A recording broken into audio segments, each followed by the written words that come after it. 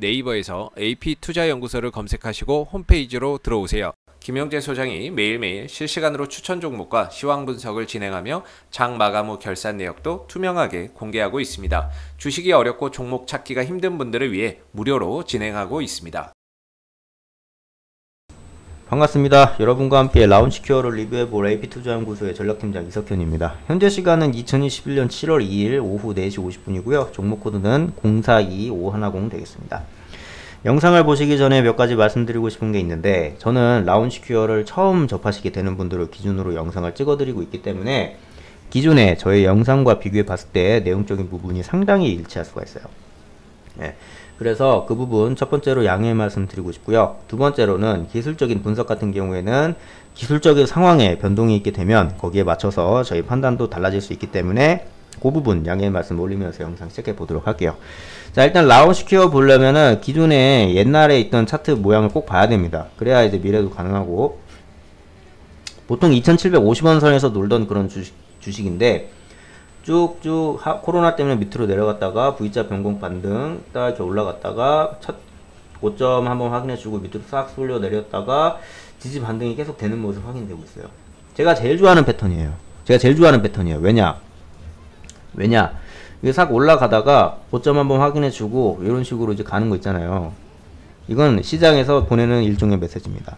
나는 아직 너를 포기하지 않았고 너는 아직 조금 더 갈 수 있고 이렇게 얘기하는 거예요. 이런 식으로 왜냐?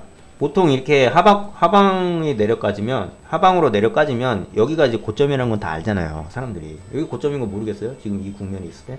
다 안단 말이에요. 그러면 매도세가 두 개의 매도 세력이 출현하는데, 첫 번째는 여기 A, 여기는 B입니다. 둘 다 여기가 고점인지 몰랐을 거예요. 그리고 이런 식으로 내려가면 A는 판단을 합니다.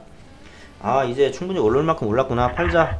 B는, 아, 이제 충분히 올릴 만큼 올랐구나. 팔자. 똑같아요. 왜냐? 얘네들은 수익을 보려고 얘네들은 손실을 최소화하려고. 시간이 지나면 지날수록 하방 경직이 되면 될수록 그게 더 거세지겠죠. 근데 그 거대한 강줄기를 정면으로 다 받아치고 위로 올리는 사람이 있다고 생각한다면 얼마나 대단하겠어요. 있는 거예요 이렇게. 사람이라고 얘기해서 죄송합니다만 매수세가 있다면.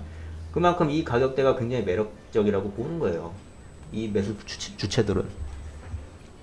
그러다가 계속 이런 식으로 이제 발생이 되다가 위로 확 뛰었죠.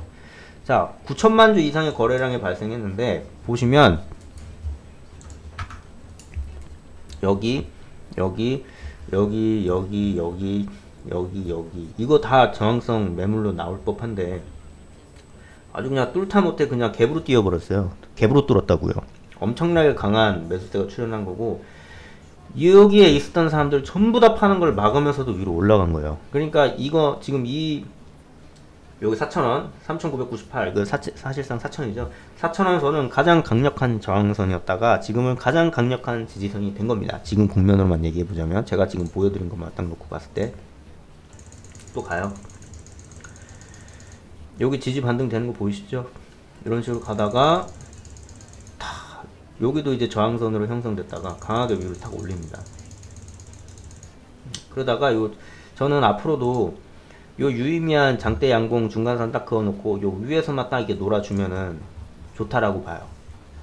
그리고 상황을 보시면 왜 지금 이런 상황이 나오냐면 세 가지의 경우의 수가 있는데 첫 번째 윤석열 두 번째 카카오페이 세 번째 자율주행 이렇게 있습니다. 이게 왜 그러냐면 자, 첫 번째 윤석열 지금은 이제 대선 출마 선언을 했죠. 대선 출마 선언을 하기 전에 윤석열이 그 블록체인 스타트업 기업들 CEO들이랑 두세 시간 면담을 해요. 근데 윤석열이 그 중요한 국면에 블록체인 기업 그 사람들한테 투자하려고 갔겠습니까? 시장한테 메시지를 던진 거예요. 나 앞으로 정책할 때 나 앞으로 대통령 될지도 모르는 사람인데 정책 같은 거 입안할 때 어, 블록체인 볼 수도 있어. 나 블록체인에 관심 있어. 라고 시장 그리고 사회에 던진 거예요. 그 메시지를. 그러면 그러면 그 사회 메시지를 가장 먼저 누가 제일 민감하게 반응할까요? 당연히 주식시장이죠. 블록체인의 강자 라온시큐어입니다. 그렇기 때문에 올랐고요. 두 번째 카카오페이가 지금 연말에 상장된다라고 얘기가 되고 있는데 요 카카오페이에서 이제 FIDO라고 있어요. 지문 인, 지문 인식하는 그거 있는데 그 기술을 그 어, 그 서비스를 라운시큐어가 제공해 줘요. 네, 그리고 마지막으로 자율주행. 이거는 제가 PPT 보면서 말씀드릴게요. 네, 그럼 이제 PPT 보도록 하겠습니다. 자, 지금 보시는 거는 이제 플랫폼 구성도인데요. FIDO의 플랫폼이에요. 예, FIDO가 뭐냐면 기존에는 이제 아이디하고 비밀번호 입력으로 해왔던 그런 인증을 지문이나 홍채 같은 생체 인증을 통해서 인증을 한다라고 보시면 돼요. 예, 요 홍채 지문 이런 거. 그리고 대표적으로 라온 FIDO dongle 이거 보시면 요거는 뭐냐면 지금 이제 라온시큐어가 국내 신한은행, 에너지공기업, 대구사이버대학 이런 이제 좋은 곳에 다 이제 납품을 해요. 근데 이제 그런 기업일수록 지문 인식을 하는 기능이 없는 device를 가지고 있는 경우가 많아요. 그럴 때는 USB를 연결해서 이걸 통해서 인증을 하면 돼요. 예. 그리고 이제 옴니원 같은 경우에는 소비자가 자신의 자격 정보를 스마트폰의 안전한 영역에 보관할 수 있게 해주는 장치예요. 블록체인을 이용해서 굉장히 안정적이고요.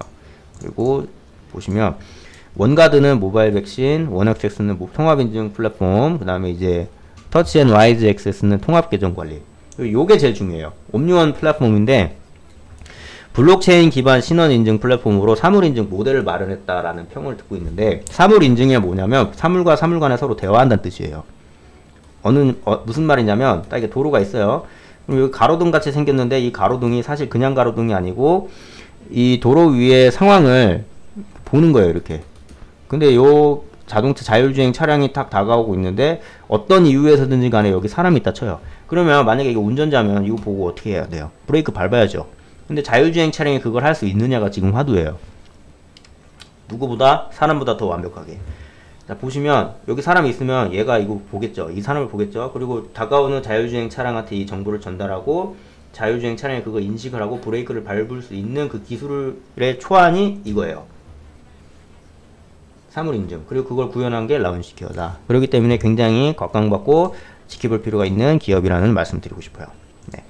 어, 이쯤 하고 싶고요. 그리고 오늘 같은 시장에서 혼자 매매하시기 어려우신 분들은 저희 AP투자연구소 무료 추천 종목 한번 보시는 거 추천드리고 싶고 테마주 검색기라고 해서 저희가 만든 어플 시스템이 있는데 테마 강도나 실시간 차트 이런 거 이제 보, 보면 굉장히 도움이 되기 때문에 한번 이용해 보시면 좋을 것 같습니다. 이상 영상 마치도록 하겠습니다. 감사합니다.